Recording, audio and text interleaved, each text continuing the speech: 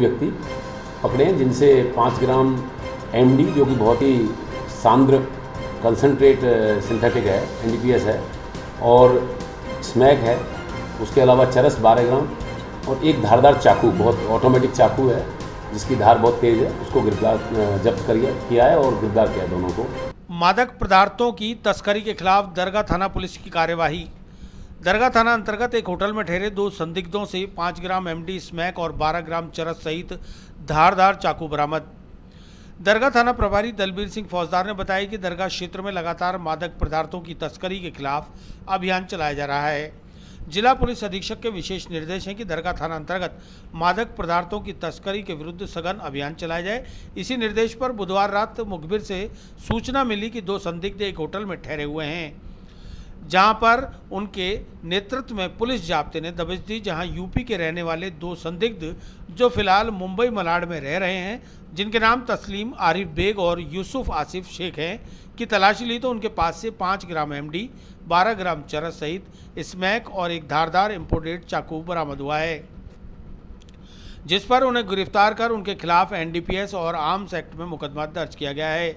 प्रारंभिक पूछताछ में दोनों आरोपियों ने मादक पदार्थ अजमेर से ही खरीदना बताया है, जिस पर अग्रिम अनुसंधान कर मादक पदार्थों का बेचान करने वाले की भी तलाश की जा रही है।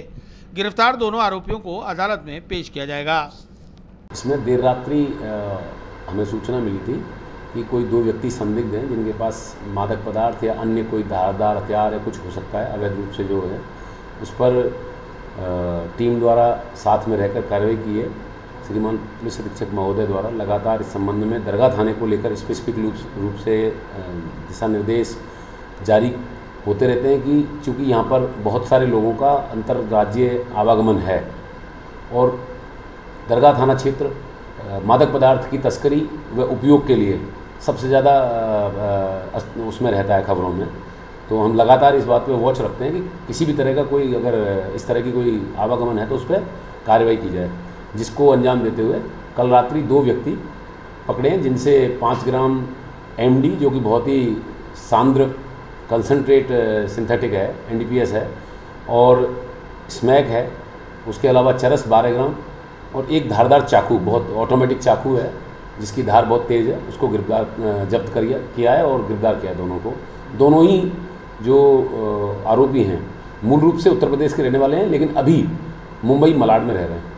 क्या नाम है दोनों का? एक है तशरीफ़ आरिफ बेग और एक एक यूसुफ आसिफ शेख है। दोनों साथ ही थे होटल में ठहरे हुए हैं कहीं गंज एरिया में। हम्म, और जाँच जो है श्रीमान पुलिस अधीक्षक महोदय के आदेश से कोतवाली थानाधिकारी का। ये बेचने के लिए लाए थे या इन्होंने खुद ने अपने इनके द्वारा तो ये उपभोग के लिए लाना बताया है और अजमेर से ही खरीदना बताया है।